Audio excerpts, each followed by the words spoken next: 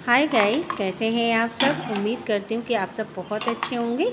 आप सभी का आपके अपनी चैनल कुक विद अवंती का रसोई भी स्वागत है।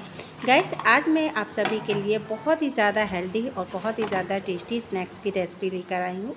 आप इसे अपने बच्चों के लंच में भी दे सकते हैं।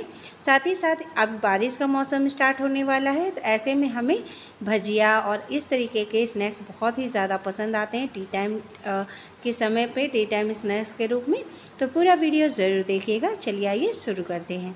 सबसे पहले हमें ले लेना है एक बिल्कुल स्मॉल साइज़ का, या फिर आप अपने अकॉर्डिंग आलू ले सकते हैं। आलू को अच्छी तरीके से हमें इसके छिक्कल को निकाल लेना है। तो गैस आप देख सकते हैं, मैंने बहुत ज़्यादा बड़ा आलू नहीं लिया यहाँ पे, बहुत मीडियम साइज़ का आलू लिया, आप अपने अकॉर्डिंग इसे ले सकते हैं। तो यहाँ आलू के छिक्कल को निकाल देंगे और अच्छे से पानी से धो लेंगे। धुलने के बाद हमें करना है कि आलू को रफली चॉप कर लेना है।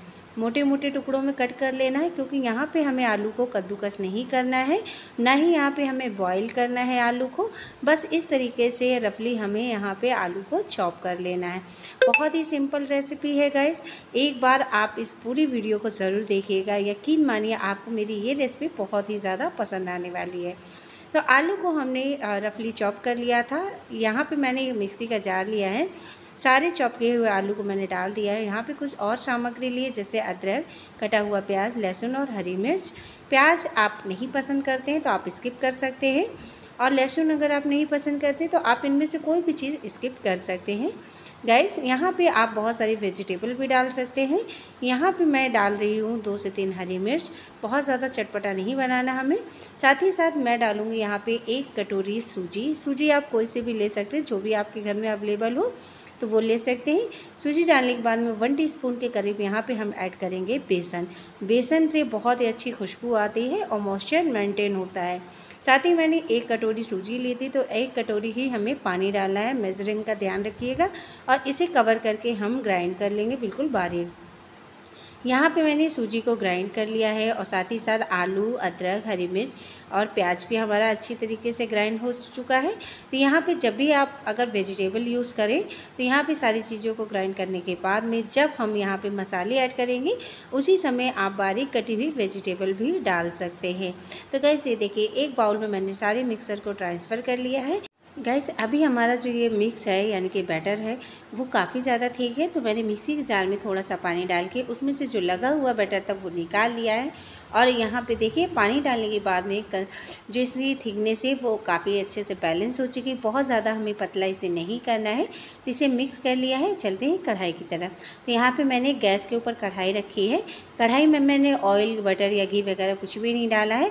सिंपल से हमारा जो ये जो हमने मिक्स बना के रखा था सूजी और कच्चे आलू का, उसे डाल देना है घोल को हमें और अच्छी तरीके से स्लो फ्लेम में इसे हमें कंटिन्यू चलाते हुए इसे हमें पका लेना है।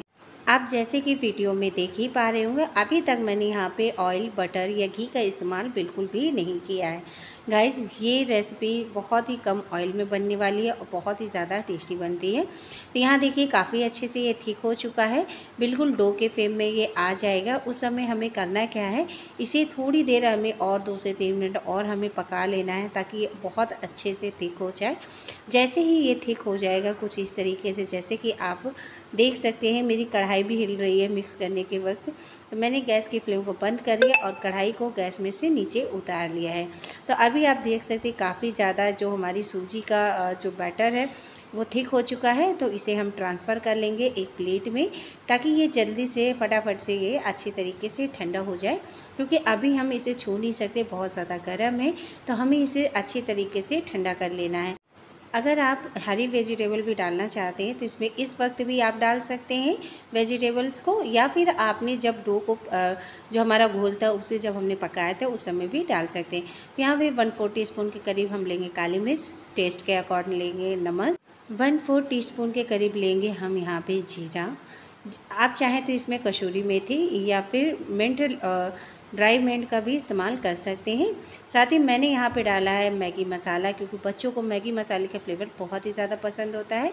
साथ ही मैं यहाँ पे थोड़ी सी धनिया चॉप करके डाल रही हूँ। आप चाहें तो यहाँ पे पाव भाजी मसाला भी इस्तेमाल कर सकते हैं। बहुत ही अच्छा फ्लेवर आता है उससे भी, पर मैंने यहाँ पे मैगी मसाला लिया क्योंकि मेरे बच्चों को मैगी मसाले से बनी हुई चीज़ें बहुत ही ज़्यादा पसंद आती हैं। तो यहाँ पे प्लेट छोटी थी तो मैंने यहाँ पे बॉल में ट्रांसफ़र कर लिया इसे, और फटाफट से हम इसे अच्छी तरीके से स्पैचुला की मदद से हमें सारे मसाले को अच्छी तरीके से मिक्स कर लेना है हमारी सूजी और कच्चे आलू के बने डो के तो गाइस ये अच्छी तरीके से मिक्स हो चुका है और काफ़ी अच्छे से ठंडा हो चुका है। अब हमें क्या करना है? हाथों को हल्का सा ग्रीस कर लेंगे ऑयल या बटर से। इसके बाद में छोटे छोटे पोर्शन को हम लेके और जैसा भी आपको पसंद हो, उस शेप में आप इसे बना लीजिएगा। तो मैं यहाँ पे नगट्स की शेप में बना रही हूँ, जैसे कि मार्केट में नगट्स मिलते हैं। बिल्कुल वही शेप दे रही हूँ। आप चाहे तो कुरकुरे का शेप दे सकते हैं। जैसा आपको शेप पसंद हो, उस तरीके से आप इसे शेप दे सकते हैं। गाइस आप मेरी ये वीडियो किस कंट्री से देख रहे हैं? प्लीज़ कमेंट करके अपना प्यारा प्यारा सा कमेंट बॉक्स में कमेंट ज़रूर कीजिएगा कमेंट में अपना नाम, अपनी सिटी का नाम ज़रूर मेंशन कीजिए। तो यहाँ देखिए, कुछ मैंने नगेट्स और कुछ कुरकुरे की शेप में मैंने इसे बना लिया है। तो चलते हैं नेक्स्ट स्टेप में। नेक्स्ट स्टेप ये है कि यहाँ पे मैंने लिया तीन से चार टेबल स्पून लिया है मैंने यहाँ पे चावल का आटा। और जो हमने नगट्स बना के रखे थे, उसे हमें चावल के आटे में कोट कर लेना है। अगर आपके पास चावल का आटा नहीं है तो आप कॉर्न स्टार्च का इस्तेमाल कर सकते हैं। अगर आपके पास वो भी नहीं है तो आप सिंपल से ब्रेड क्रम में भी इसे कोट कर सकते हैं। बहुत ज़्यादा हमें कोट नहीं करना, बस हल्का हल्का सा कोट करना है। तो ये सारे नगेट्स और हमारे ये जो सूजी के कुरकुरे हैं, इसे मैंने कोट कर लिया है चावल के आटे से। हाई फ्लेम के ऑयल में हमें अच्छी तरीके से इसे फ्राई कर लेना है। और तब तक फ्राई करना है जब तक कि ये जो है गोल्डन ब्राउन नहीं हो जाते हैं। ख़ास बात यहाँ पे ये है कि जब तक ये ऑयल में ऊपर तैरने नहीं लगते हैं तब तक आपको बिल्कुल भी इसे टच नहीं करना है क्योंकि अंदर से काफ़ी ज़्यादा सॉफ्ट होते हैं।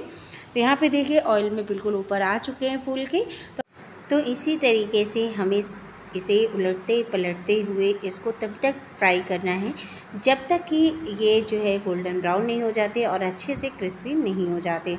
गाइस ये बहुत ही अच्छे लगते हैं। बच्चों को आपके बहुत ही ज़्यादा पसंद आने वाली रेसिपी है। एक बार आप इसे ज़रूर ट्राई कीजिएगा।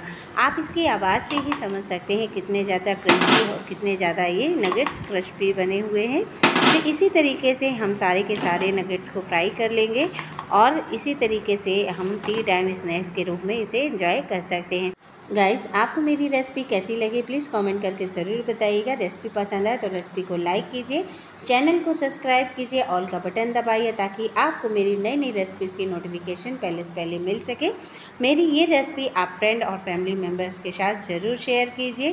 तो गाइज़ यहाँ पर मैं सर्व कर रही हूँ इसे टमाटो केचप और गर्मा गर्म चाय के साथ, क्योंकि क्योंकि उत्तर प्रदेश में हो रही बारिश और बारिश के टाइम पे भजिया और इस टाइप के स्नैक्स बहुत ही ज़्यादा पसंद आते हैं। आप इसे बच्चों के लंच बॉक्स में भी दे सकते हैं। तो गाइस एक बार इस रेसिपी को ज़रूर ट्राई कीजिएगा। Thank you